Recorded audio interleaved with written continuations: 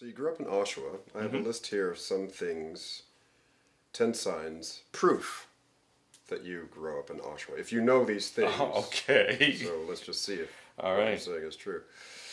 Um, you know the official Oshawa motto. Do you know what that is? Nah. I was O'Neill. I could sing you the O'Neill um, What's the, what's, song. What's the O'Neill song? Like O'Neill O'Neill Collegiate Vocational Institute is like Okay. the snob school, Oh, yeah. you know, and we had like a, a song that we all sang. So even to this day, Let's hear it.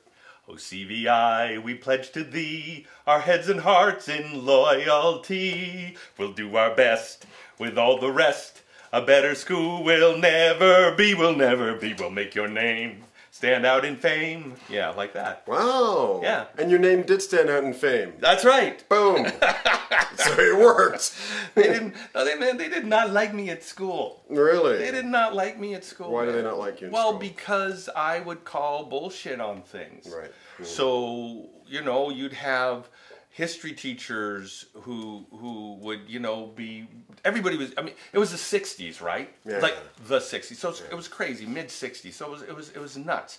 And and there was this huge thing about no, you you have to obey these rules. You can't do this. You can't do mm-hmm. that. And I would just say, look, you're a history teacher. Mm-hmm. There's not one single person in that book that you're teaching us about who conformed to the rules. So mm-hmm. why are you expecting me to conform to the rules when the people that we celebrate are ones who didn't?